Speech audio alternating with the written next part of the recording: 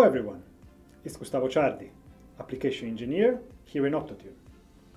In today's video, I'm going to show you an example on how to interface Optotune's liquid lenses with the lens controller provided by our partner Gardasoft. First, let's give a look at the portfolio of our electrical tunable lenses. The clear aperture of our lenses ranges from 3mm for the small EL310 up to 16mm for the large EL1640. Halfway, we have the mid-sized EL1030 with a 10mm clear aperture.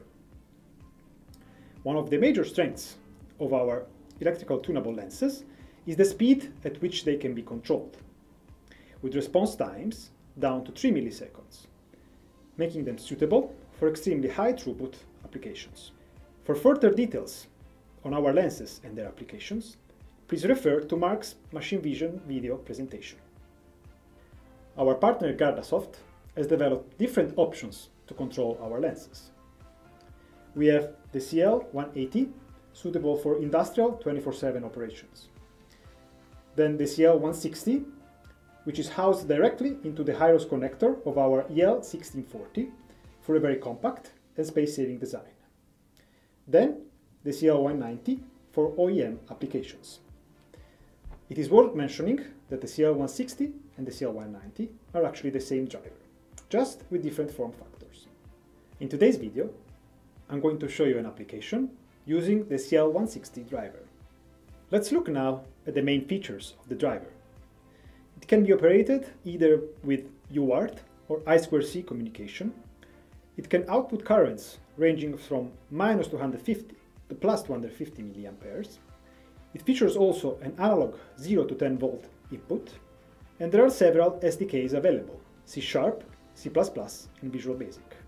As mentioned before, the form factor is embedded in the EL1640 Hirose adapter. Now I'm going to show you the main components for today's demonstration. We have an optical board, which includes a white backlight, two transparent USAF targets placed at different distances, one with respect to the other, a mounting post for the camera. Then we have a CMOS camera, a 25mm lens from our partner Evetar, which includes in the optical design the Optotune EL1640 and the CL160 Gardasoft driver, configured in UART communication protocol. For visual purposes, I have removed the cover so that the driver is visible. Then we have a modified Hirose cable, which will allow the communication with the driver. And finally, a USB to UART cable, which will allow the communication with the computer. I've now mounted the camera and lens to the optical board. Reattach the cover, connect the driver with the Hirose cable, and the camera with the camera cable.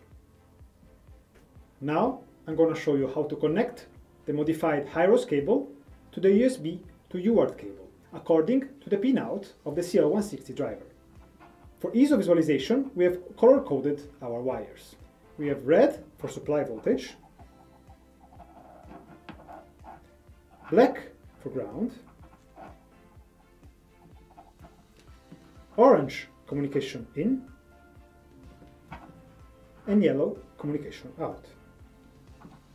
Make sure to connect the communication in and communication out properly. Finally, I'm going to connect the USB to UART cable to the computer. Now that all the hardware is connected, we can launch the Optotune cockpit. To connect to the devices, click on the Connect Device button. And now you can either choose to connect to the devices singularly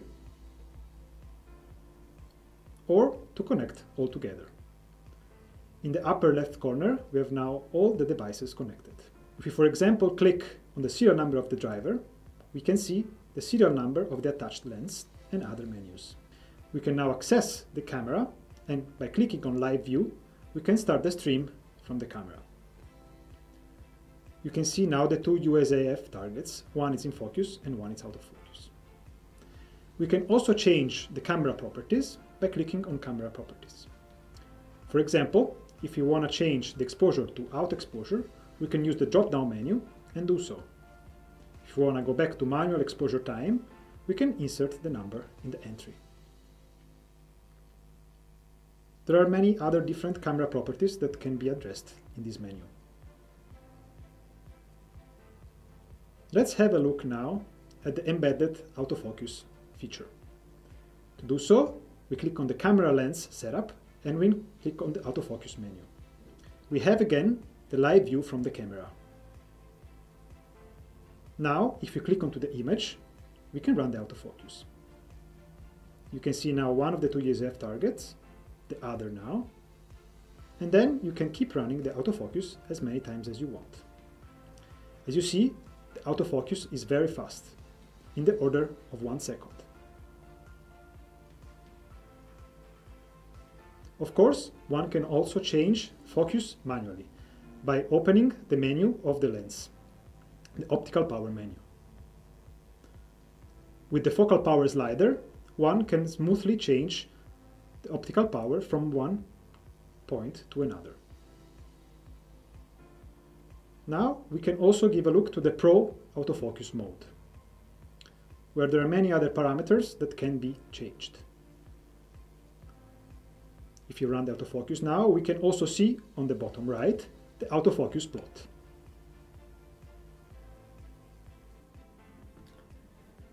Hope you enjoyed this video. Thanks for watching and I'll see you soon.